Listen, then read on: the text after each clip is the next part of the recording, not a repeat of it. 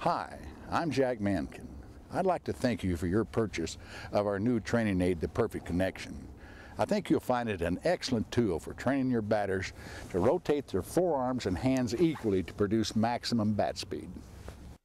Before we head back to the field where Jack Mankin is going to give you additional principles on using the connector, we wanted to bring you indoors and show you how we install it and set it up with one of our students. Now as you can see the strap goes over the lead arm.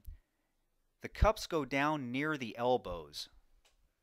Then once you have the connector on, go ahead and grab a bat and get in your normal launch position. Now one of the important things here is that the arm should not be completely stretched out. There should be some flexibility in the back arm and we would suggest sort of wiggling the back arm up and down to make sure there is movement as the player is doing right here. Because what happens if the arms are too stretched out at this point you will continue to be stretched out throughout the entire swing. And it's also important because the back arm will start to lower before the lead arm initiates and therefore there has to be some flexibility between the arms and the connector. Now once you have a good comfortable fit with the connector, we highly suggest swinging against a heavy practice bag so the bat can be stopped at the point of contact. The connector is generally going to place the arms in the correct position. So what we would suggest is taking a few swings against a heavy bag with the connector on and then take the connector off and swing against a heavy bag trying to duplicate that same feeling. Now you might feel some different things because the connector puts the arms in a different position than you might be used to, especially if you're a backhand dominant hitter or if you're a hitter who does not use a good lead arm pull. Now, as you're first beginning to use the connector, one of the first things you should do is really concentrate on a good lead arm pull. And that starts from initiation, right here, through the lag position here, and it will continue to contact. Now, if you notice this player, uh, right after we applied the connector, we, we gave this instruction, and you can actually see that the lead arm is not pulling against the strap. And what that means is the batter is still using primarily the back arm in driving the swing rather than using the lead arm. We actually should see no gap there between the lead arm and that front strap. And in fact, the front strap is designed to allow the lead arm to pull and keep the connector on and fixed. So in this case, we can see that the batter did not use quite enough lead arm pull, so the next swing we would want to really focus on using more lead arm pull and lead shoulder rotation so that there is a pressure between that lead arm on the connector and the strap. The back arm also has a very important function.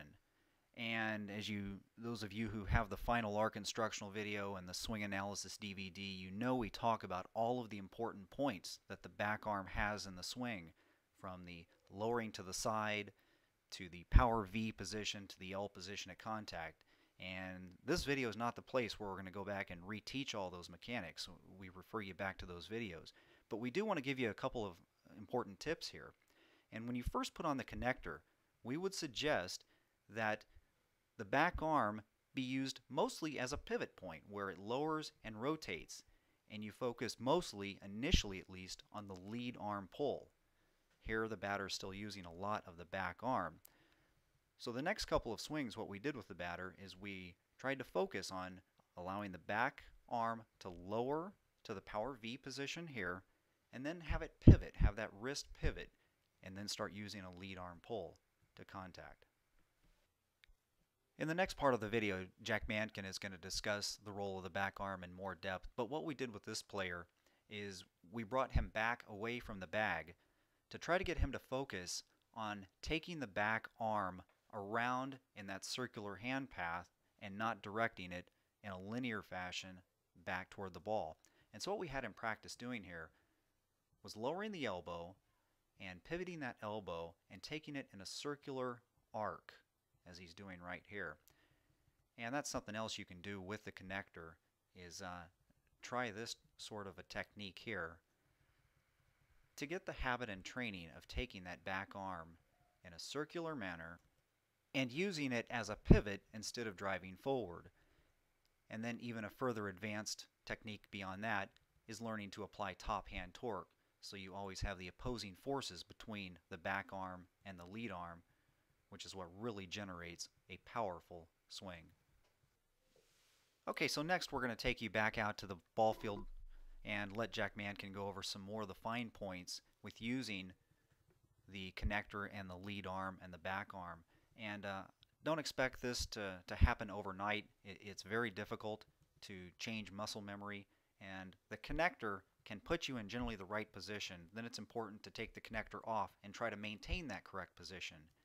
And while we're not going to cover every aspect of the swing in this short presentation, uh, again, the, the two other videos we do have really cover that in depth and that's the purpose of those videos is to really show you how to analyze the swing and develop strong rotational mechanics. So now I'm going to send it back to Jack Mankin and he's going to go over this in more detail with you. Uh, accelerating the forearms correctly uh, is commonly referred to as rotating the triangle. Uh, this means basically that both elbows and forearms are accelerating at the same rate. Uh, however, if, if, you're like most batters, you have a tendency to be top hand dominant. Now by top hand dominant, we mean that you rely too much on the back arm to accelerate the bat. Uh, as we've shown with the three batters in the promo, uh, relying too heavily on the back side to accelerate the bat uh, causes the back elbow to outrun now the advancement of the lead elbow. Uh, now when you're wearing the connector here, uh, this is going to cause both elbows to accelerate at the same rate. Uh, the first principle I want to discuss is the role of the lead arm in a swing. Uh, if you're like uh, most of my students, uh, when you first swing with the connector, you feel a tremendous pressure against this lead arm. Uh, this indicates uh, that your lead arm is just not accelerating correctly. In fact, it's just being driven around now by the back elbow. Well, that's not what we should feel in a high-level swing. Uh, if we're accelerating that lead arm equally to the back arm, we won't be feeling any pressure. In other words, in a high level swing where you're wearing a connector or you're not, uh, there should be no pressure against that arm. If they should both be rotating equally. Uh, therefore, we must get the lead arm more involved in the swing. I, I think it's important to point out that the top hand has a very important role in the swing, but that role is not to drive the hands forward. Uh, pulling the hands around the swing plane, now that's the role of the lead arm. So here's a good rule to follow. Uh, it is the rotation of this lead shoulder through the lead arm that brings the hands around the swing plane. Now it's important to point out that to provide a, a, real good connection though to that lead shoulder, that this lead elbow must remain at a constant angle. Now, starting off with a with a, a, a, good angle in the arm and then allowing it to extend just lets the, the lead shoulder freewheel. And we really don't, that's a form of disconnection, and we really don't transfer that energy from the lead shoulder to the bat.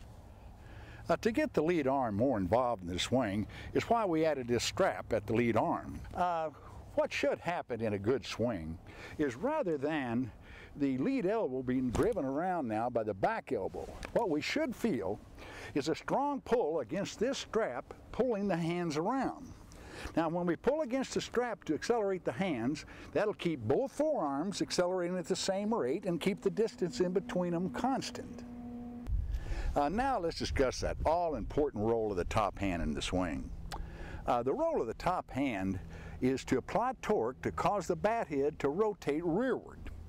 Uh, now that torque is applied in two ways. And number one, by the rolling of the forearm. In other words, the elbow stays back here and the elbow rotates in this direction, the forearm, excuse me. That's rotating the bat rearward. The second force is the push-pull of the hands. As the top hand now rotates rearward, as the thumb of the top hand now is always rotating rearward, the bottom hand, of course, is pulling around in this direction. And those are the two forces of torque that really accelerate the bat. Now I want to point out that uh, when you're really doing this right, you'll actually, as you pull, pull this uh, top hand rearward, you'll feel it actually wanting to stretch out this bottom arm. That means you're not coming inside with the ball because the rule is we never want the top hand to drive either inside or at the bottom hand. The top hand is always applying a rearward force. So once again, I want to stress the point that we never want the top hand to be driving forward. In other words, we don't want it to either drive inside the bottom hand or at the bottom hand. Like I said, that the it should be applying torque to the bat that is rotating the bat head rearward. In conclusion, I'd like to point out that when we're using the connector correctly, and in other words, that we're rotating the triangle correctly, that you'll find that always that in any good swing, that when the shoulders stop rotating, the bat will be brought to contact, all right? In other words, during that time, as long as those shoulders are rotating from initiation all the way around to contact, we're supplying the energy from all those major muscles of the legs, torso, all the way up. Now, what we don't want to see is for us to get, I'm going to take the connector off here just for a second because what we don't want now is for the lead arm to start off boxed or something of this nature and allow the lead shoulder to freewheel open. Because then what will happen, the shoulders will finish rotation, but the bat is still back here. And from that point on, all they've got left to do is push with the arms. And of course, that is not an efficient mechanic. So once again, what you're looking for is where was the bat when the lead shoulder stopped rotating? Was it a contact? That's great. Anything short of that is bat drag. Uh, that finishes my presentation.